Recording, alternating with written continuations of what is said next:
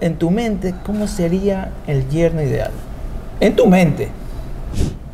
Veamos el Andrés que ve redes sociales y ve a tu hija.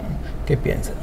Estoy muy feliz, la verdad que Luciana, estoy muy feliz porque la veo feliz, porque lo que ha hecho eh, Luciana de verdad se lo ha ganado a pulso, ella, o sea, esto no es, no es un tema, no es un tema en donde, en donde yo, eh, es más, te diría que Luciana, a la, a la persona que, que menos bola le para en los temas del día, o sea, de, de, si yo obviamente soy un, soy un viejo para ella, ¿no? entonces si le tengo que dar un consejo de, oye, ¿por qué no haces este contenido? Me mira y me dice, no, papá, eso no, eso no va a funcionar. O sea, es más, debo decirte que las ideas que ella o, los hermanos, Lucas y Alina, me, me, dan para mis redes, de verdad que son, son ideas que, que funcionan. Entonces, y como, padre, como, como padre, ¿qué tan ¿qué tanto coraje da y no lo puede expresar cuando hay mucha crítica para ella? No, para nada. Eh, de verdad, eh, es una de las primeras cosas que le dije a Luciana cuando aceptó estar en Masterchef, que yo no estaba muy a favor de que, de que, vaya. Yo le digo, hay una... Porque ella la verdad que no, no, había prestado mucha atención a, al todo el tema de redes, eh, de lo que puedes generar en redes.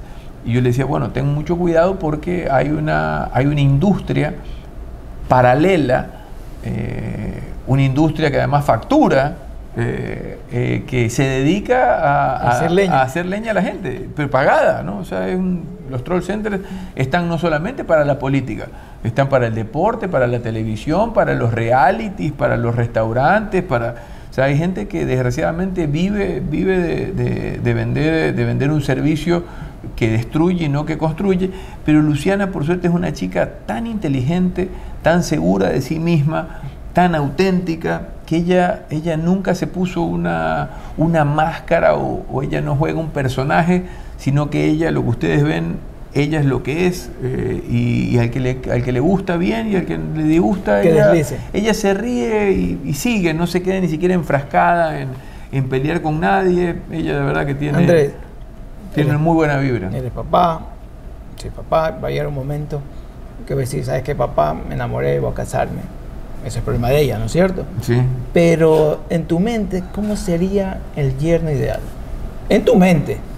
No, yo, yo lo que quiero, de verdad, si tú me ¿cómo Usted sería, dijo, ¿cómo sería, prometió, sí, sí, sí. ¿Cómo, sería, el, yerno, ideal? Yo sé que no hay, pero según... Yo, yo, sé que lo que pasa es que no hay una persona ideal, pero las, las cualidades que yo le pediría no son imposibles. Ya. Fundamental, fundamentalmente que la respete. Ya.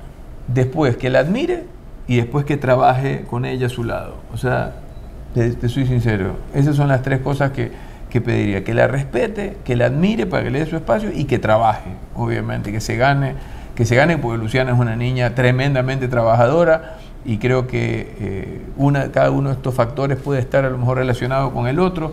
Entonces, no, no, no, no, no me gustaría mucho un, un yerno que mientras Luciana trabaja como trabaja, eh, este fin de semana se fue a Colombia a, una visita con, una marca, un cliente. Eh, está en Quito a esta hora, se levantó a las 7 de la mañana para, trabajar y viene esta noche, mañana graba su podcast. no, me, no me gustaría que mientras ella hace todo eso, esté su esposo jugando PlayStation en una casa. ¿Quién tiene más seguidores? Ella. Ella, ella. ¿En qué, momento te pasó? No, qué sé yo, ya. Ella, ella es más famosa, hermano. Te juro, cuando yo voy, me río porque usted es el papá de Luciana, ¿verdad? Sí. Y antes era lo contrario. Claro, antes ella era tu papá, Andrés Ushman. Pero me encanta, amo, amo eso. De verdad, créeme que ver el ver la felicidad a través de, de, la felicidad de tus hijos, pues no, quiero hablar ni de, no sé, de la fama. La fama es efímera y el, éxito relativo eh, pero la felicidad, y es lo que yo intento siempre transmitirles, que ellos sean felices con lo que hacen, felices con lo que sienten, felices con lo que son, con lo que le entregan a la gente. Yo creo que mientras uno pueda ver a sus hijos felices, listo, señores, no, no le debo, ni, eh, o la vida no me debe nada más que, esa satisfacción. Esa es la mejor alegría. La, alegría más grande, verlos sanos, eh, verlos sanos, que es lo Créeme que mi primera frase cuando, cuando rezo todas las noches es salud para mi familia, para mis amigos y la gente que quiero. La última. Si alguien en la calle te dice, suegro, o te dice suegro, o lo quisiera ser suegro, ¿cómo lo dije?